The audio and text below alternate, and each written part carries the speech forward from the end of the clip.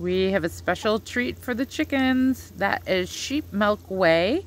We are in the process of making cheddar here at Healing Homestead.